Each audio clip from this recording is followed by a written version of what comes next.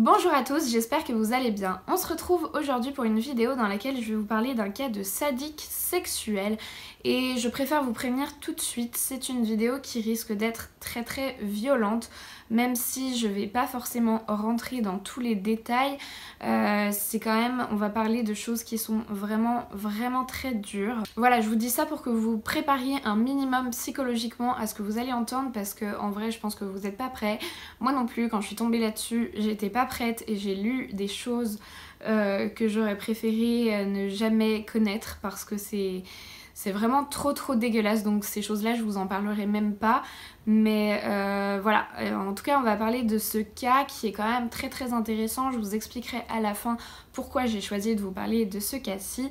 Je vous laisse comme d'habitude vous installer bien confortablement éteindre vos lumières et c'est parti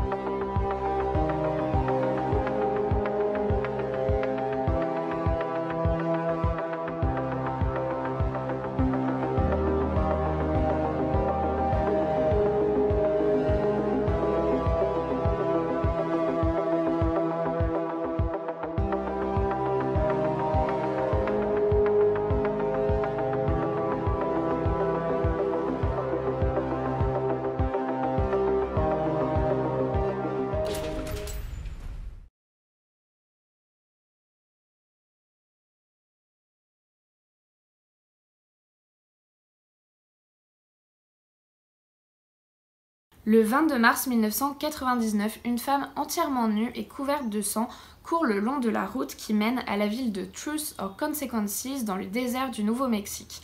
Elle a un énorme collier de chien autour du cou avec une grande chaîne qui et euh, elle essaye de faire des gestes désespérés aux voitures qu'elle croise mais les gens qui voient cette scène là euh, sont tellement effrayés par ce qu'ils voient qu'ils ne s'arrêtent pas. Donc elle continue de courir pendant un certain temps jusqu'à arriver à un mobilhome dans lequel elle va rentrer en trombe. Et la propriétaire qui la découvre dans cet état heureusement elle a la bonne réaction. Elle va tout de suite lui donner une robe lui faire passer euh, des vêtements et appeler les secours. La femme va pouvoir expliquer ce qui s'est passé, elle dit qu'elle s'appelle Cynthia Vigil et qu'elle vient de s'échapper d'une maison dans laquelle elle a été retenue, séquestrée pendant trois jours par un couple de sadiques sexuels qui lui a fait subir plein de sévices, qui l'ont attachée, séquestrée, torturée et violée. Les policiers arrivent évidemment très rapidement, ils vont pouvoir aller à la maison que désigne Cynthia Vigil et là euh, ils vont faire des découvertes, ça va aller de pire en pire à chaque découverte. David Parker Ray est arrêté et tout de suite on va perquisitionner sa maison. À l'intérieur de la maison on va trouver des signes évidents de lutte et plein de choses qui vont exactement dans le sens euh, de la version donnée par Cynthia Vigil donc qui tente vraiment à prouver qu'elle a effectivement été retenue prisonnière et euh, qu'on lui a fait subir plein de choses assez dégueulasses dans cette maison mais euh, c'est pas dans la maison qu'on va trouver le pire parce qu'en fait les policiers vont ensuite découvrir un camion qui est stationné euh, dans la cour et en fait c'est dans ce camion que David Parker Ray a aménagé une véritable chambre de torture qu'il surnomme sa boîte à jouets ou le repère de Satan dans laquelle euh, les policiers vont être complètement choqués quand ils vont entrer parce qu'il y a énormément d'objets. Ils vont trouver d'abord une cette grosse chaise euh, de gynécologue qui euh, trône en plein milieu. Et puis il y a énormément de sextoys, il y a des chaînes, des colliers, des poulies, des photos et des schémas qui représentent euh, des positions sexuelles sadomasochistes, des instruments chirurgicaux et même un dispositif qui permet d'envoyer des décharges électriques par le biais de pinces que David Ray Parker accrochait au sein de ses victimes. David Parker Ray est un homme de 59 ans au moment de son arrestation. Il vit avec une compagne et il a deux enfants et il travaille en tant que mécanicien dans le parc naturel de la ville de Truth or Consequences. David Parker Ray et sa compagne Cindy Andy sont arrêtés évidemment et ils vont tout de suite clamer leur innocence eux, en fait, leur version des faits, c'est que euh, Cynthia Vigil était totalement consentante pour les espèces de jeux sexuels sadomaso. Et puis, euh, ils vont aussi dire, en fait, euh, bah oui c'est vrai on l'a enlevé mais en fait c'était dans un but totalement altruiste, oui c'est vrai on l'a attaché au lit mais c'était pour l'aider à passer au-dessus de son addiction aux drogues, etc. Donc ils essayent de réaménager totalement les faits et la vérité. Et le souci, c'est que Cynthia Vigil, c'était une prostituée héroïnomane. Et ça, c'est quelque chose qui va malheureusement beaucoup lui faire perdre de crédibilité au tout début. Les gens vont avoir un petit peu de mal à croire à sa version des faits et ils vont plus avoir tendance à croire ce que dit David Parker Ray. Mais comme je vous l'ai dit, la police va faire des découvertes de plus en plus horribles qui vont finalement vraiment venir confirmer la réelle nature de David Parker Ray. D'abord, ils vont trouver euh, deux caméras à l'intérieur de la boîte à jouets. Et euh, du coup, ils se disent, bon, s'il y a des caméras, il a peut-être filmé ce qu'il a fait. Donc, ils vont passer en revue toutes les cassettes qui sont présentes dans la maison. Et là, bingo, on va trouver euh, une cassette en particulier sur laquelle on voit David Parker Ray à l'intérieur de son camion aménagé en train d'un peu installer tout son matériel, le tester, etc. Et puis euh, d'un seul coup, il y a comme une coupure euh, dans la, vidéo et quand ça se remet en route, eh bien on voit David Parker Ray avec une femme qui est entièrement nue, attachée sur la fameuse chaise dont je vous ai parlé, qui est bâillonnée et elle a pas vraiment l'air tout à fait consciente, peut-être qu'elle est droguée, en tout... on voit qu'elle est, pas vraiment présente euh, mentalement. Et euh, David Parker est autour d'elle et il lui fait des espèces de caresses, des attouchements, etc. Et grâce à un tatouage que cet inconnu avait sur sa jambe, la police a réussi à l'identifier et à la contacter. Cette femme, elle s'appelle Kelly Garrett et c'est une amie de la fille de Parker Ray. Et elle, euh, quand on la contacte, quand la police lui explique un petit peu, elle dit qu'elle a aucun souvenir d'avoir déjà été chez lui.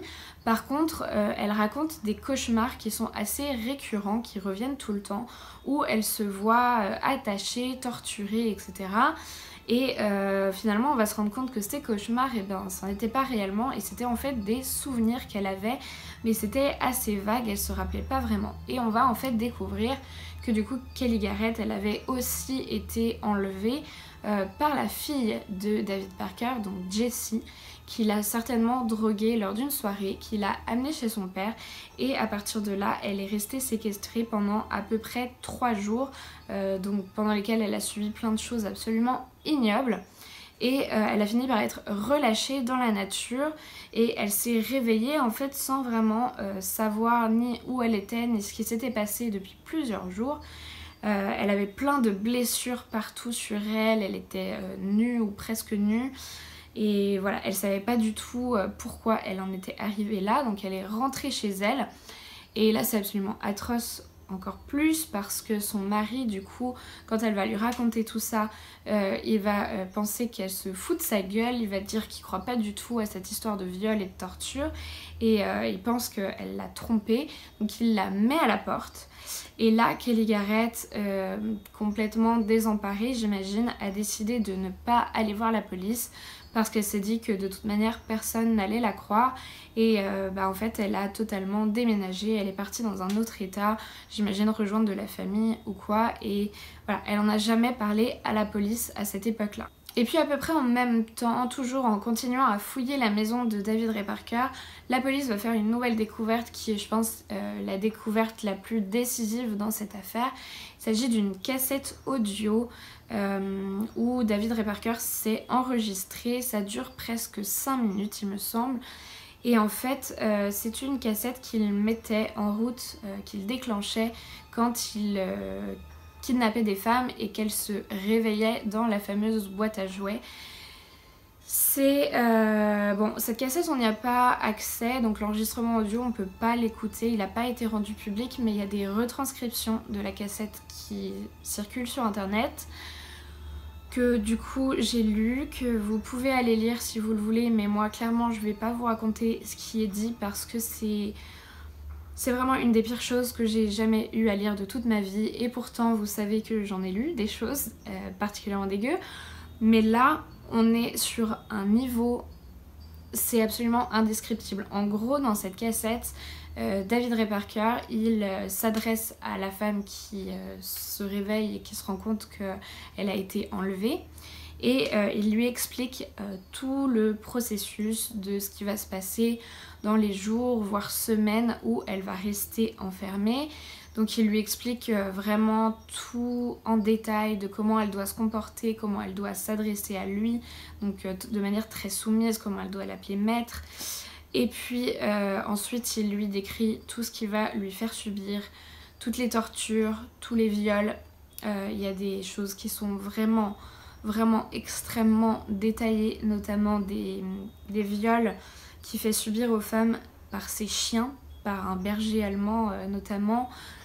Il y a vraiment des scènes euh, tellement bestiales, tellement atroces. Vraiment, je vous conseille pas forcément d'aller lire ça. Euh, c'est extrêmement long, c'est extrêmement long, j'imagine même pas ce que ça doit faire que d'entendre ça et de savoir que du coup c'est ce qui va nous arriver. Mais voilà, donc c'est le contenu euh, de ces cassettes. Et puis dans cette cassette là, David Parker Ray, il explique aussi quelque chose qui va vraiment être très très intéressant pour les enquêteurs parce qu'en fait il dit que euh, quand il sait qu'il va euh, relâcher la fille, il va lui donner des mélanges de certaines substances chimiques, donc des drogues, qui vont en fait créer bah, une amnésie qui fera qu'elle se rappellera pas de ce qui s'est passé. Et donc en fait, il s'arrangeait pour euh, que les blessures des femmes aient suffisamment guéri, pour pas avoir fait des choses trop voyantes, puis les droguer, leur faire tout oublier et les relâcher dans la nature. C'est aussi dans cet enregistrement qu'on va apprendre qu'il y a certainement beaucoup, beaucoup d'autres victimes que les deux qu'on connaît du coup, parce que euh, déjà lui, à un moment, il dit qu'il y a déjà eu 37 femmes euh, qui, euh, qui ont été enlevés. Donc on sait que quand l'enregistrement a été fait, il y en a sûrement encore eu d'autres après. Et puis il explique qu'il a commencé à enlever et violer des femmes depuis très très jeune, genre l'âge de 15 ans.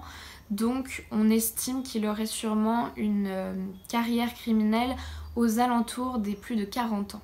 Et pour en finir avec ce fameux enregistrement, et c'est là que vous allez comprendre pourquoi je vous dis qu'il est vraiment extrêmement important cet enregistrement-là, euh, David Parker Ray mentionne à un moment euh, à, la fille, donc aux jeunes femmes euh, auxquelles il s'adresse, le fait qu'il faut qu'elles soient vraiment bien soumises, qu'elles acceptent bien toutes les conditions et que du coup il leur fera pas vraiment de mal, entre guillemets, en tout cas qu'il les tuera pas et que si elles font bien comme ils disent, il finira éventuellement par les relâcher parce que c'est un homme qui se lasse assez vite et donc il aura envie de changer de victime.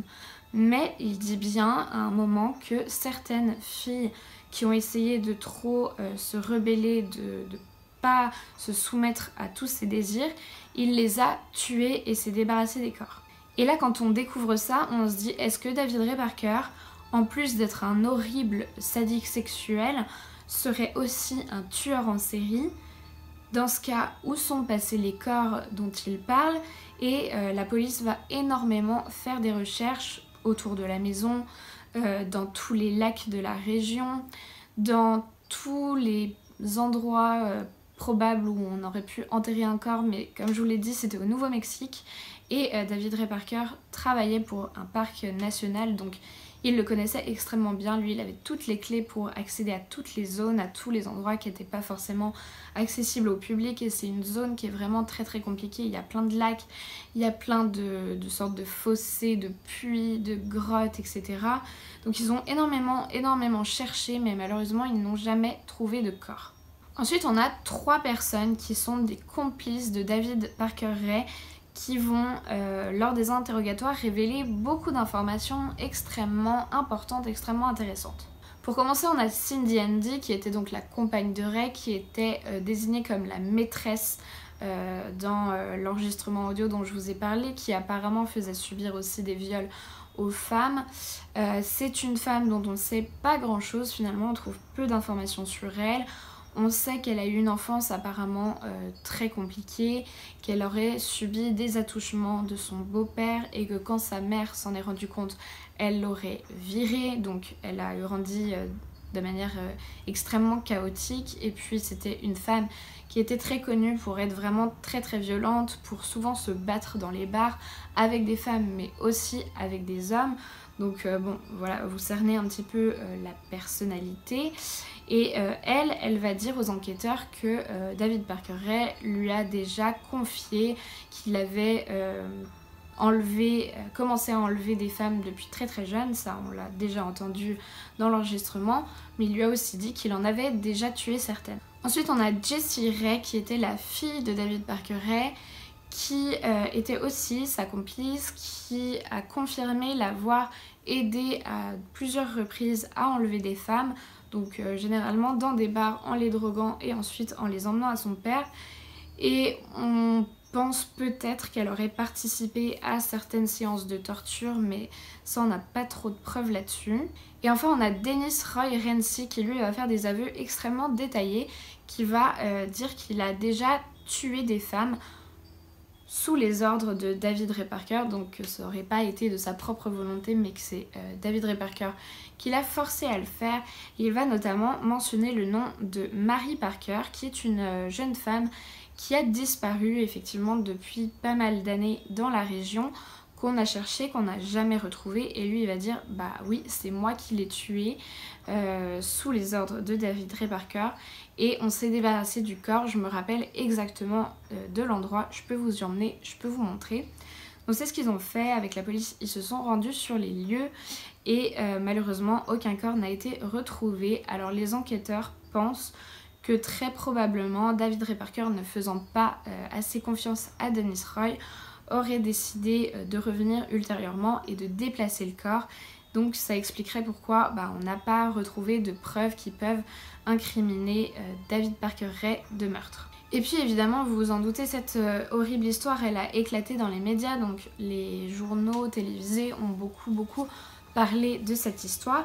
Et il y a une troisième victime qui a contacté la police, qui euh, s'est reconnue dans cette histoire, qui sait qu'elle a été au contact de David Parker et T.D. Andy, qui a aussi subi euh, bah, des viols, des tortures et une séquestration pendant plusieurs jours et qui n'avait pas euh, souhaité en parler à l'époque, qui s'était enfui après ça et donc qui revient à ce moment-là pour pouvoir témoigner lors des procès. Et donc à partir de là va être décidé qu'il y aura trois procès pour David Parker euh, un procès par victime. Donc le premier c'était pour Cynthia Vigil, le second pour Angelica Montano, donc la personne dont je viens de vous parler qui euh, s'est reconnue aux infos, et puis pour Kelly Garrett. Et en fait le tout premier procès donc pour Cynthia Vigil a été mené et je pense qu'il y a eu pas mal de choses qui se sont pas très très bien déroulées notamment parce que du coup euh, la fameuse cassette audio, l'enregistrement qui est, euh, je veux dire, tellement incriminant, je sais pas exactement pourquoi, mais ils n'ont pas pu le présenter en tant que preuve. Ce qui fait que euh, finalement le procès n'a pas réussi à déboucher sur, sur quoi que ce soit. Parce que aux États-Unis en tout cas, ce qui se passe c'est que vous savez, il y a un jury. Et la décision euh, du jury pour reconnaître coupable ou non coupable, euh, il faut qu'elle soit à l'unanimité et avec les preuves qui avaient été présentées et notamment le manque de cet enregistrement audio, et eh ben le jury n'a pas réussi à se mettre d'accord. Il y a des personnes qui, euh, comme je vous l'ai dit, le problème c'est que Cynthia Vigil était une prostituée héroïnomane et c'est absolument dégueulasse, mais ça existe encore aujourd'hui de toute manière certaines personnes ont tendance à euh, faire porter le chapeau à la victime, à dire que finalement ben, c'est un peu de sa faute, que c'est elle qui l'a cherché, etc. Et j'imagine que c'est ce qui s'est passé au niveau du jury. Donc le procès n'a pas réussi à aboutir sur la question de la culpabilité de David Parker Ray. Donc évidemment ça pouvait pas se passer comme ça, il y a un deuxième procès qui a été fait et là à l'issue de ce deuxième procès, on a reconnu David Parker Ray coupable euh, bah, de tous euh, les chefs d'inculpation qui lui étaient euh, posés. Et malheureusement, le deuxième procès, celui d'Angelica Montano, n'a pas pu avoir lieu parce que Angelica Montano est décédée dans un contexte totalement différent, mais elle est décédée avant le procès. Donc du coup, ben, ça a été annulé. Et là, David Parker Ray a décidé de passer un accord avec la police.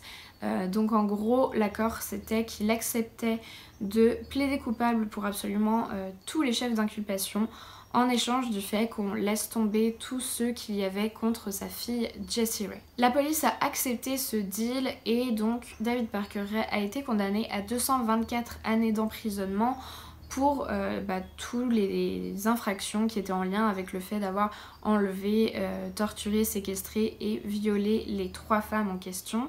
Et du coup, sa fille, Jessie Ray, elle a aussi quand même passé un jugement seulement du coup pour enlèvement et elle a été condamnée à deux ans et demi de prison plus 5 années de probation. Cindy Andy, de son côté, elle a été condamnée en l'an 2000 à 36 ans de prison pour son rôle dans les crimes et je crois qu'elle euh, a une possibilité euh, à partir de maintenant à peu près de libération conditionnelle. Je sais pas, j'ai pas regardé où ça en était si elle l'avait euh, été accepté ou pas, mais en tout cas voilà. En 1999, Dennis Roy Yancey, il a été reconnu coupable du meurtre par étranglement de Mary Parker et il a reçu 20 ans de prison pour ça. En 2010, donc soit 11 ans après son emprisonnement, il a été mis en liberté conditionnelle et euh, très rapidement, au bout de quelques mois, apparemment il a fait euh, une entorse, il a violé en tout cas euh, les conditions de euh, sa mise sous liberté conditionnelle. Donc il est retourné en prison et il y restera jusqu'en 2021 où il aura du coup purgé toute sa peine d'origine.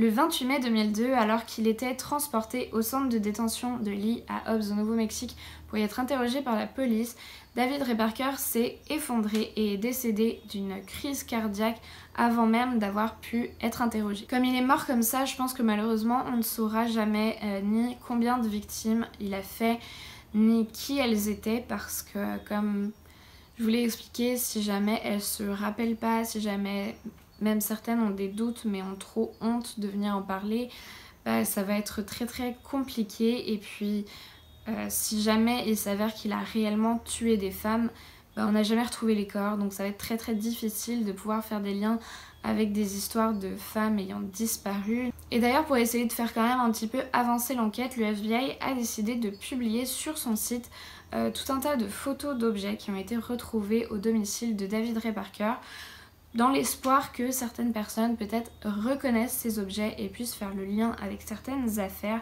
Alors euh, c'est vraiment extrêmement long, il y a beaucoup beaucoup d'objets, on voit notamment beaucoup de bijoux, il y a aussi des vêtements, il y a des sous-vêtements. Et tous ces objets semblent euh, provenir de, de périodes, j'ai envie de dire, assez différentes, ce qui peut vraiment nous laisser penser que beaucoup de femmes ont pu passer entre les mains de David Parker. Bon, j'espère que ça va de votre côté. Je sais que c'est vraiment euh, beaucoup de choses, c'est assez euh, lourd à entendre. Tout ça, c'est vraiment un sujet extrêmement euh, difficile à aborder. Et je vais, comme je vous l'ai dit, je vais vous expliquer pourquoi j'ai décidé de vous parler du cas de David Parker Ray. Parce que je trouve que c'est vraiment un cas qui, malgré le fait qu'il soit extrêmement horrible, vraiment atroce, il y a des choses qui sont quand même intéressantes. Je vais vous parler un petit peu de sa psychologie à lui et d'une manière un petit peu plus générale des euh, agresseurs sexuels, notamment des sadiques sexuels. Pour commencer, je vais vous définir ce qu'est un sadique sexuel parce que je crois qu'on en avait déjà un petit peu parlé dans la vidéo sur Dennis Rader, si vous vous rappelez bien. Mais là, je pense que vraiment le cas de David Parker Ray, il est encore plus parlant. Vraiment, c'est l'illustration parfaite du sadique sexuel, c'est-à-dire une personne qui est excitée sexuellement par la vue de la souffrance d'un être vivant. Alors apparemment l'enfance de David Parker elle a été marquée par des graves négligences, notamment des carences affectives de la part des femmes de son entourage, donc de sa mère, de sa grand-mère, et ça vous allez voir que ça a probablement une incidence sur les comportements après. Et puis euh, il a développé des fantasmes euh, qui ont commencé très très tôt, comme on le voit en général dans toutes les histoires de tueurs en série dont j'ai déjà pu vous parler. Et ces fantasmes-là, ils ont été nourris par la pornographie, la pornographie sadomaso, toutes les histoires qui tournent autour du bondage. Et euh, ça donne ce qu'on appelle en psychologie un apprentissage vicariant. Alors, c'est un mot un peu compliqué pour dire en fait euh, bah, simplement l'apprentissage par imitation d'un modèle. Et ça, c'est quelque chose qu'on retrouve vraiment beaucoup, beaucoup dans les cas euh, d'agresseurs sexuels en fait notamment bah, avec la pornographie qui donne des représentations très faussée de ce qu'est la sexualité dans la vie euh, quotidienne. Et puis le truc à savoir aussi, c'est que les vraies relations dans le milieu SM, elles ont absolument rien à voir avec du sadisme sexuel. Les partenaires sont toujours consentants, il y a vraiment une grosse relation de confiance entre les participants, il y a beaucoup de respect, il y a vraiment des limites qui sont bien bien cadrées c'est finalement comme un genre de jeu de rôle, mais il n'y a pas réellement de souffrance affligée à quelqu'un qui n'en veut pas. Et si vous voulez, du coup, ce genre de milieu-là, c'est quelque chose qui va attirer un sadique sexuel au début, mais dans lequel il va pas pouvoir s'épanouir, parce que lui, ce qu'il veut, comme je vous l'ai dit, c'est vraiment faire du mal à quelqu'un qui n'est pas consentant et voir cette personne avoir peur, voir cette personne souffrir. Donc finalement, il va assez vite s'en détourner pour finalement bah, finir par agresser réellement des personnes et pouvoir assouvir ses désirs et ses fantasmes. Et je voulais aussi vous parler des caractéristiques générales qu'on retrouve euh, presque tout le temps chez les agresseurs euh, de femmes adultes et donc qu'on retrouve aussi dans le cas de David Parker Ray. Il y en a trois. Le premier c'est le pouvoir et la rage. C'est tout ce qui va vraiment tourner autour d'une agressivité dirigée envers les femmes. Et ça, je vous en parlais tout à l'heure quand je vous ai dit que euh, David Parker n'a pas reçu d'amour apparemment par sa mère, de par sa grand-mère. Ça a comme développé une sorte de haine envers toutes les femmes du monde entier. Il a décidé, enfin pas décidé, mais je veux dire de manière totalement inconsciente, il a commencé à vouer une véritable haine à la jante féminine. Et donc là, on va aussi parler de toute l'excitation qui est générée par la peur et par la souffrance de la victime. C'est vraiment ça qui va donner un sentiment de domination, de pouvoir absolu à l'agresseur qui finalement va un petit peu euh, jouer à être Dieu pour l'autre qui va se sentir dans une position où il peut décider de la souffrance de la personne mais presque aussi de vie ou de mort. Le deuxième point c'est la composante purement sadique, c'est ce dont je vous ai parlé tout à l'heure, c'est l'amalgame en fait entre la pulsion sexuelle et la pulsion agressive. C'est ce qu'on va désigner comme une érotisation des violences physiques. Donc il y a une réelle excitation euh, sexuelle à voir quelqu'un en train de souffrir. Et le troisième point, c'est la dimension psychopathique, c'est la recherche du plaisir immédiat sans se soucier des désirs de l'autre. Là où c'est vraiment encore plus particulier dans l'affaire de David Parker Ray, et c'est pour ça aussi que je l'ai choisi comme exemple pour vous parler des sadiques sexuels, c'est que euh, donc bah il y avait lui, mais il y avait aussi euh, plusieurs complices et notamment sa compagne et sa fille. Et ça c'est pour bien vous montrer que euh, oui, il y a une grosse majorité d'hommes qui peuvent être des agresseurs sexuels, mais il y a aussi des femmes qui sont capables de faire ce genre de choses-là. Donc euh, je trouve que ça casse aussi un petit peu le stéréotype du prédateur sexuel qui est un homme, qui est seul, qui a genre pas de relation. Bah non, en fait, il n'y a pas forcément que ça. C'est pas forcément rassurant non plus, hein. mais en tout cas, voilà, ça casse un petit peu, je pense, euh, la représentation générale qu'on a euh, du sadique sexuel, du violeur, etc. Et puis dans le cas particulier de David Parker Ray, vraiment juste lui, je pense que c'est un exemple parfait de euh, l'agresseur sexuel qu'on ne pourra pas faire changer. Parce que euh, en général en fait il y a plusieurs dimensions qu'on va regarder et on va voir s'il y a une reconnaissance ou pas de certains faits et tout ça. Et euh, bah, je vais vous en faire la liste. En fait il y a absolument lui il est concerné par absolument rien dans tout ça. Donc déjà il y a le fait de reconnaître les faits. David Parker Ray Vraiment, au début, il a toujours nié, etc. Quand au final, durant le procès, il a fini par avouer ce qu'il avait fait, je pense que c'était vraiment parce que de toute manière, les preuves étaient beaucoup trop incriminantes. Et puis comme ça, ça lui a permis de passer un deal pour euh, faire libérer sa fille. Mais je veux dire, sinon, il avait absolument euh, zéro reconnaissance des faits. Il y avait aussi euh, zéro reconnaissance de la contrainte qu'il a pu exercer sur ses victimes, puisque à chaque fois qu'on lui en parlait, lui il disait qu'elles étaient euh, totalement euh, consentantes et volontaires, alors qu'on sait très bien que c'était absolument pas le cas. He enjoyed it? Has he ever tortured anyone? No. Did he kidnap anyone? No. So did Ray ever do anything against the wishes of a sex partner? No. I get my excitement from making a woman happy. My trailer had numerous sex toys in it of different types, all different fetishes. I got pleasure out of the woman getting pleasure. Uh, I did what they wanted me to do. Il n'a jamais non plus fait preuve de culpabilité ou de honte par rapport à ce qu'il avait fait. Et euh, à aucun moment il n'a pris en compte le ressenti de ses victimes, que ce soit euh, pendant les nombreuses heures qu'il a partagées avec ces femmes qu'il séquestrait, qui ont essayé de lui demander de, de les relâcher, etc. Ça n'a jamais fonctionné, ni même au moment des procès. Et ça, en fait, comme je vous le disais, c'est vraiment tous les points sur lesquels il faut qu'il y ait un peu de reconnaissance, même un minimum, j'ai envie de dire, de bonne volonté, enfin ouais, de reconnaissance de la part d'un auteur d'infraction à caractère sexuel pour qu'on puisse se dire ok on va mettre en place une prise en charge psychocriminologique qui va fonctionner. Et puis j'en profite avant de terminer pour essayer de devancer certains euh, commentaires qui risqueraient d'arriver suite à cette vidéo euh, à propos de la castration chimique. Parce qu'on en entend beaucoup parler, il y a beaucoup de gens qui demandent la castration chimique pour euh, les violeurs, les sadiques, etc. Mais euh, malheureusement, c'est pas aussi simple. En fait, euh, qu'est-ce que c'est que la castration chimique? C'est la prescription d'un anti-androgène qui s'appelle l'acétate de cyprotérone. Excusez-moi, je regarde la fiche parce que je ne connais pas le nom euh, par cœur. Et donc en fait, voilà, cette fameuse castration chimique, dans le cas d'une personne comme David Parker serait totalement inutile. Parce que comme je vous l'ai montré, euh, l'origine de ces fantasmes et de ces euh, perversités euh, sexuelles n'est absolument pas due à un dérèglement hormonal. C'est quelque chose de totalement psychique. Or, la castration chimique, elle n'agit que sur les hormones. Donc il y a des gens, il y a des personnes qui commettent des agressions sexuelles parce qu'ils ont un dérèglement hormonal. Dans ce cas-là, la castration chimique, ça peut être une solution.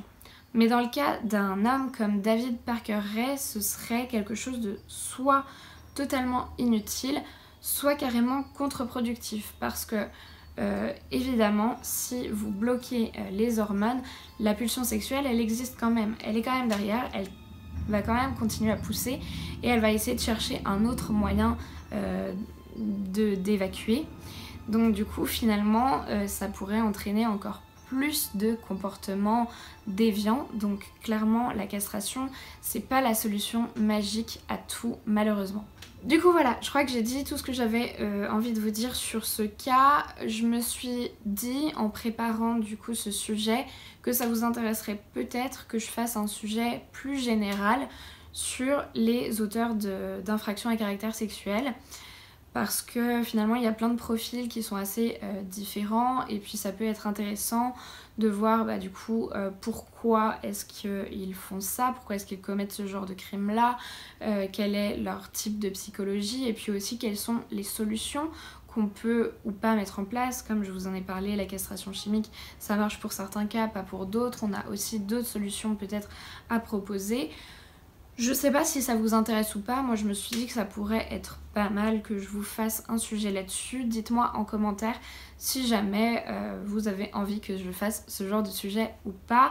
J'espère que la vidéo vous a plu, enfin plu, quand je vous dis ça j'espère que vous comprenez que ce n'est pas euh, les histoires que je vous raconte qui vous plaisent mais plutôt euh, ce que je vous en dis, ce que j'essaye de vous en apporter. Donc voilà, je J'espère qu'on se comprend bien là-dessus quand je vous demande si la vidéo vous a plu. En tout cas, si c'est le cas, n'hésitez pas à mettre un petit pouce en l'air pour me le signifier et puis à vous abonner à ma chaîne si c'est pas encore fait. Moi, je vous dis à très vite pour un prochain sujet. Je vous fais d'énormes bisous et en attendant, n'oubliez surtout pas de rallumer votre lumière.